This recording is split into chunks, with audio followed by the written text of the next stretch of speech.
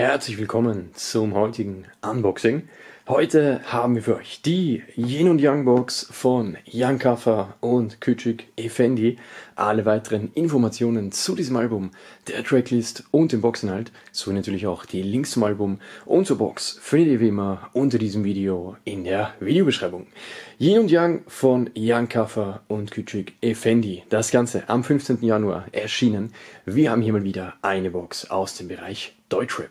Jawohl, es ist eine große Box in ungewöhnlicher Form. Und zwar ist die tatsächlich kreisförmig. Wir werden das Ganze mal aus der Folie holen und uns dann im Detail ansehen. Das letzte Mal, dass wir etwas von denen angesehen haben, war ja das Dickicht-Bundle im letzten Jahr. Und jetzt ist es an der Zeit für die erste Box der beiden, die auch echt riesengroß ist und auch einen stolzen Preis hatte. Also eine der teuersten Deluxe-Boxen seit langer, langer Zeit für mich. So, wir haben hier die Box im Yin und Yang Design etwas abgewandelt. Also man kennt das ja, dieses schwarz-weiße Logo, dieses Bild aus dem Daoismus, aus der Philosophie. Allerdings in diesem Fall eben etwas abgewandelt, nicht hier mit den Punkten, sondern hier die beiden Schemen, die beiden Silhouetten der beiden Protagonisten hier. Einmal schwarz, einmal weiß. Ansonsten die Box hier komplett in weiß gehalten. Und wenn man das hier oben angreift, zumindest das Weiß, das Schwarz nicht, aber das Weiß, ist auch so eine raue, ob, raue Oberfläche. Also ich glaube, da ist auch ein Glow-in-the-Dark-Effekt dann, aber man spürt es auf jeden Fall hier, das ist anders beschichtet. Schwarz ist glatt und das Weiß ist hier wirklich so rau und hat Widerstand, wenn man drüber greift. Und auf der Unterseite der Box, rundum ist ja alles weiß, sieht das so aus. Wir lesen hier Jan Kaffer und Küçük Effendi, Yin und Yang. Dann die Infos und ein Barcode. Und hier oben haben wir noch eine kleine Auslassung, so ein kleines Löchlein. Hier kann man die Box dann tatsächlich aufhängen an die Wand oder wo immer man möchte. Gut, wir schauen mal rein. Wenn es gelingt, den Boxdeckel anzuheben, Ah. So, aber jetzt von innen weiß und dann kommt uns der Inhalt entgegen. Es riecht auf jeden Fall schon mal sehr stark. Ja. So, was haben wir hier? Wir haben hier einmal ein Zertifikat, also eine unterschriebene Karte. Dann haben wir eine schwarze eingepackte Masse hier in so einem schwarzen Papier, bisschen wie bei einem Schuhkarton. Und ansonsten hier nur noch so ein kleines Gel. Und eben hier sieht man nochmal besser das Loch, wo man die Box dann aufhängen kann. So, dann machen wir mal die Box wieder zu.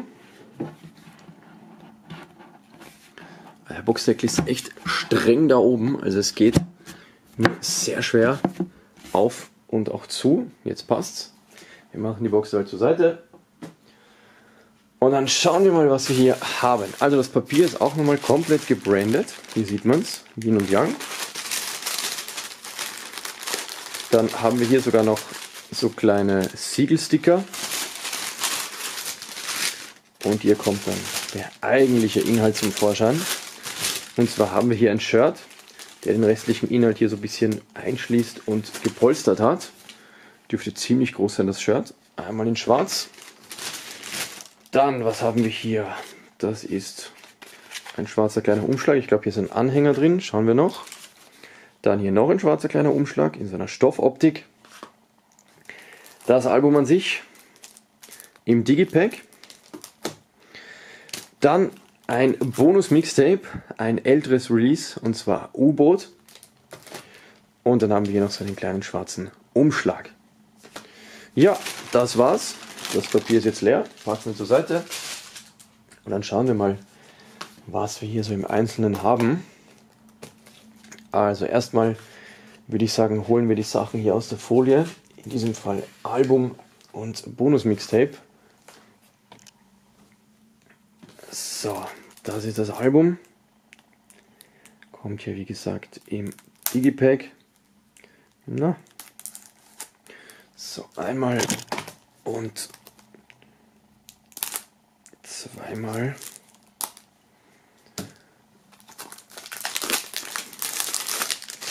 So, das ist das Mixtape U-Boot. Und dann haben wir hier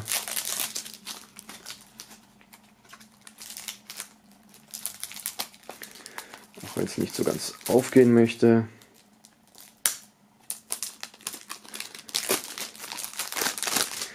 Das Album an sich. Damit starten wir wie immer. So sieht das aus. Also Cover auch hier wieder dieses abgewandelte Yin und Yang, aber hier rundherum noch so ein weißer Schimmer oder Scheineffekt.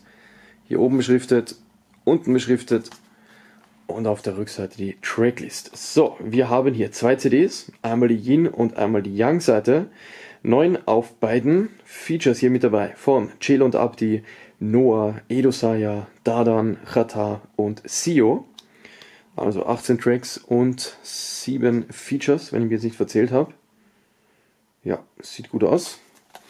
So, das Ganze ist ein Schuber und hier kommt dann die eigentliche CD zum Vorschein. Die kommt hier in einem Jewel Case. Zwei CD lesen wir hier. Auf der Seite auch wieder beschriftet. Cover ident.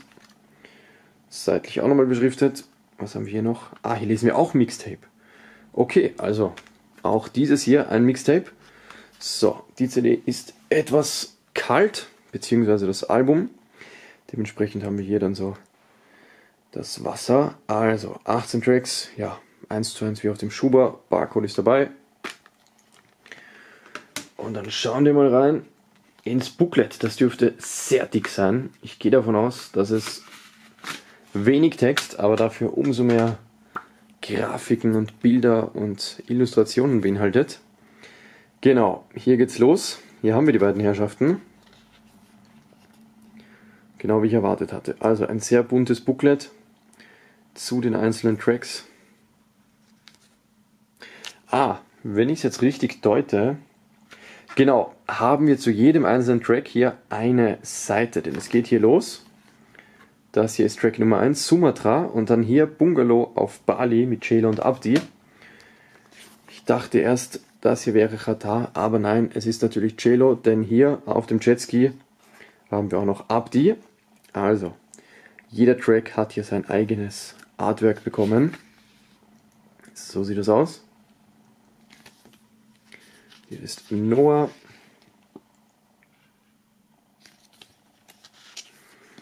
Ja, also fast alle Bilder hier in seiner Urlaubsatmosphäre. Dann Edo Saya. Und dann sind wir auch schon auf der Young-Seite, also auf den neuen Tracks der zweiten CD. So sieht das aus. Das ist offensichtlich Dardan. Dann haben wir hier Qatar in dem Golfkart. Und hier dann CEO vom Track Yoga. Gut, also, wie gesagt, sehr buntes, sehr schön geschaltetes Booklet. Und zum Abschluss gibt es dann hier noch die wichtigen Infos, und zwar die Credits, die ganzen Produzenten, Beteiligte des Albums. Wunderbar. Kaffer Effendi Legenden aus Leidenschaft. So, Booklet geht wieder zurück und wir kommen zu den beiden CDs, die auch natürlich hier in diesem Yin Yang designt wurden. Einmal hier die weiße CD, die Yin-Seite und dann auf der Rückseite schwarz die Yang und hier auch nochmal. Also das Artwork hat man hier auf jeden Fall konsequent durchgezogen. Wir packen das Ganze wieder zurück. Und jetzt sehe ich auch gerade, dass hier ist so eine spezielle Hochglanzoptik hier auf dem Schuber. Ist mir vorhin gar nicht so aufgefallen. Dann haben wir das Bonus-Mixtape und zwar U-Boot. Zum ersten Mal, soweit ich weiß, auch physisch. War, glaube ich, bis dato immer nur digital erhältlich. Hier das Sternbild, hier lesen wir es, U-Boot. Und auch hier haben wir so eine spezielle Beschichtung. Es ist auch wirklich hier so gedruckt, also man kann das hier spüren. Und es glänzt entsprechend. So, Tracklist, 12 Stück an der Zahl, keine Features und auch kein Barcode, denn das Ganze gibt es meines Wissens wirklich nur exklusiv in dieser Box, sonst nicht. Deswegen kein Barcode. So, auf der Seite beschriftet, auf der Rückseite die Tracklist, also Schuber ident mit der Hülle. So, hier lesen wir jetzt zwar nicht Legenden aus Leidenschaft, aber wir lesen hier Kaffer Fendi, ein Klassiker. So, hier geht's los. auch dieses Booklet hier wieder so gestaltet wie das von Yin und Yang. Hier hat man dann sogar noch ähm, beschriftet die einzelnen Tracks. Jawohl. So sieht es aus. Gut, auch hier zum Abschluss die Beats und die Beteiligten, die Credits. Sehr schön. Also, alles was man wissen muss, ist hier mit drin. Einzige was fehlt sind die Lyrics. Dann haben wir die CD. Das ist die hier. Auch hier wieder in dieser Sternenbildoptik. Polizei kommt auch schon. Und hier das Ganze dann in schwarz. Also sieht man auch recht selten eingefärbte CDs hier. In schwarz, wunderbar. So, packen wir zurück in den Schuber und kommen direkt zum nächsten Inhalt. Und zwar haben wir hier ein Zertifikat. Das wurde hier wirklich beschriftet bzw. unterschrieben. Ja, und auch der Umschlag hier zugeklebt. Es geht gar nicht so wirklich auf. Wir werden einfach mal hier aufschneiden nach oben. Na. So, wunderbar. So, was haben wir hier? Also, so sieht das aus. Und das freut mich besonders, wir haben hier eine Durchnummerierung der Box. Bedeutet, wir erfahren hier, die Box wurde insgesamt auf 3200 Stück limitiert und meine Box ist in diesem Fall die Nummer 1508. Dann haben beide hier mit Tinte offensichtlich mit einer Tinten, beim Tintenfüller unterschrieben. Danke für deine Unterstützung, 4L. Ja, also das ist so Autogrammkarte und Zertifikat in einem. Als nächstes haben wir diesen schwarzen Umschlag und hier haben wir jede Menge Zeug drin. Also dieser Umschlag ist prall gefüllt. So, wir haben hier Sticker. Dreimal gibt es hier den U-Boot-Sticker. Ups.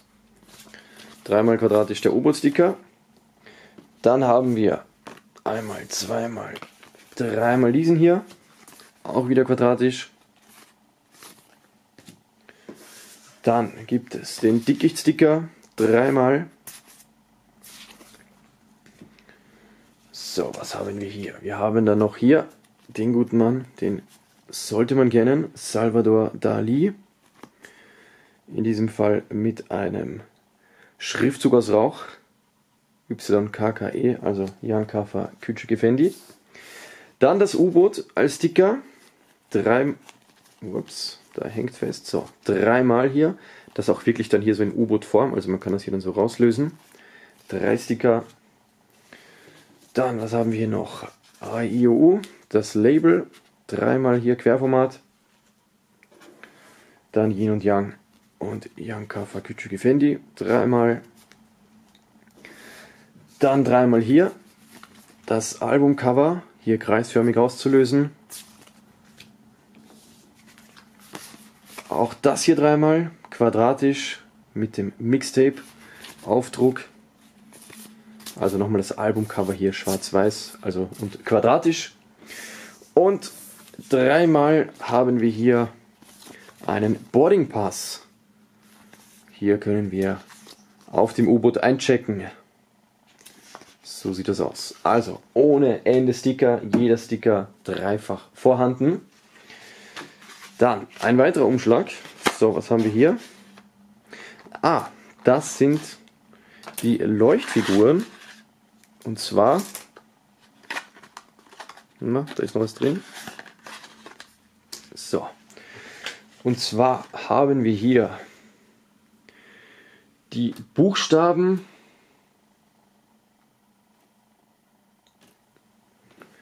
in verschiedenen Ausführungen.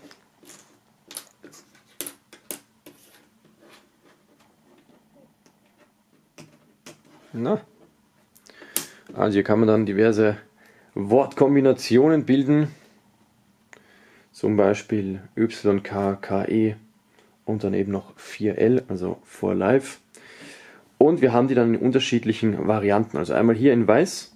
Das sind, glaube ich, auch wieder welche, die hier im Dunkeln leuchten. Ebenso hatte ich erst verdreht, die einzelnen Buchstaben und auch das hier. Also ich glaube, die leuchten alle im Dunkeln. Die wurden sogar hier entsprechend, nein, die weißen sind es, die wurden hier entsprechend hinten mit so einer Magnetfolie, mit so einer Magnetschicht hier versehen. Also die kann man dann direkt an Kühlschrank oder metallische Oberflächen dran machen.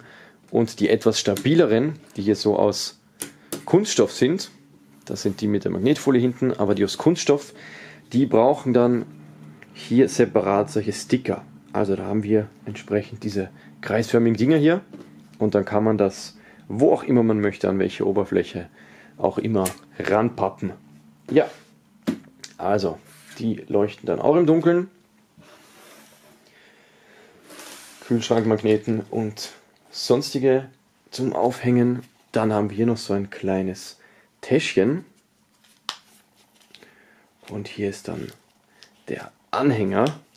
Bedeutet, man kann die beiden Herren und ihr Albumcover hier dann wirklich auch bei sich tragen als Schmuck, denn wir haben hier den Anhänger, der ist so versilbert, schwarz und silber und hier oben dann dieses kleine Teil, da kann man dann mit einer Halskette zum Beispiel einfädeln. Auf der Rückseite lesen wir A, E, und dann kann man das hier zur Schau stellen und sich als Fan der beiden outen. Und als letzten Boxinhalt haben wir dann hier noch ein Shirt mit dabei. Das ist recht großzügig geschnitten. Also ich denke, es ist auf jeden Fall ein Größe L. So, natürlich, wie zu erwarten, ist auch hier wieder das Yin und Yang Logo in abgewandelter Form im Brustbereich so mittig abgebildet. Auf der Rückseite lesen wir auch wieder die Initialen, also YKKE. Und dieses Shirt ist ein Yin und Yang. Dann das Label. Also okay, hier ist nichts weiter. Dann schauen wir noch mal kurz unten rein, ob wir hier Infos haben. Genau. Hier lesen wir es. Yin und Yang, Yang Kaffer, Küche Fendi. Das Ganze ist 100% Baumwolle und von der Urban GmbH in Deutschland. Grüße gehen raus. So, und jetzt würde mich interessieren, ein bisschen Licht hat es ja dann doch schon im Laufe des Unboxings jetzt abbekommen. Jetzt schauen wir mal kurz, wie das aussieht, wenn ich jetzt hier mal das Licht abdrehe. Ich meine, wir haben zwar jetzt ja ungefähr kurz vor 14 Uhr, das heißt draußen ist es jetzt auch noch nicht ganz dunkel, aber ich habe die Vorhänge zugezogen und wir probieren es einfach mal kurz, wie das aussieht, wenn wir das Licht abdrehen. Moment.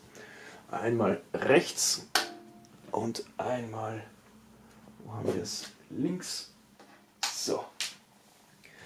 Ja, okay, gut. Das sieht man jetzt wenig bis gar nichts, aber ich kann euch sagen, es leuchtet auf jeden Fall. Ja, das Problem bei sowas ist dann eben immer, dass man es zwar sieht, also ich sehe es, dass es natürlich leuchtet, allerdings ist das Ganze schwierig von der Kamera einzufangen, weil einfach die Sensibilität für das Licht der Kamera einfach etwas zu schwach ist oder da einfach nicht ausreicht und dementsprechend ist der Bildschirm einfach schwarz. Man kann das in der Kamera leider nicht ganz so sehen und nachvollziehen, aber ich kann euch auf jeden Fall sagen, das hier, der weiße Bereich, der leuchtet hier ziemlich stark vor allem wenn man dann draußen im Sonnenlicht oder generell das noch etwas länger aufladen lässt. Und ebenso auch hier die Box, die leuchtet ebenso, genauso wie natürlich die entsprechenden Buchstaben, die wir hier mit dabei haben. Jawohl, das war's soweit mit dem heutigen Unboxing. Wir fassen noch einmal kurz zusammen, was sich alles in der Box befindet. Einmal das eben gezeigte Shirt. Dann haben wir dieses Zertifikat mit den beiden Unterschriften und der Durchnummerierung. Dann den Anhänger hier für eure Halskette oder ähnliches. Dann die einzelnen Figuren und auch natürlich die Buchstaben magnetisch, aber natürlich auch die, die man dann noch selbst ankleben kann mit Hilfe dieser Klebekreise. Also mit Hilfe dieser Teile hier. Dann haben wir mit dabei Sticker. 3, 6, 9, 12, 15, 18, 21, 24, 27, 30 Sticker, wenn ich mir jetzt nicht verzählt habe, in allen verschiedenen Variationen und Größen und Formen. Dann das Bonus-Mixtape U-Boot hier in Jewel Case und in diesem Schuber, sowie natürlich das Doppelalbum bzw. das Doppel-Mixtape, also zwei CDs sind hier mit drin zum Album Yin und Yang. Auch dieses hier im Jewel Case im Pappschuber. Jawohl, das alles. Das alles in dieser wunderbaren Box Yin und Yang von Jan Kaffer und Küçük Effendi. Mich würde natürlich interessieren, was haltet ihr von dem Album bzw. der Box? Schreibt es in die Kommentare und wenn ihr die Musik feiert, falls ihr Jan Kaffer und Küçük Effendi unterstützen möchtet, dann findet ihr die Links dazu unter diesem Video in der Videobeschreibung. Das war's für heute. Bis zum nächsten Unboxing. Passt auf euch auf. Ciao.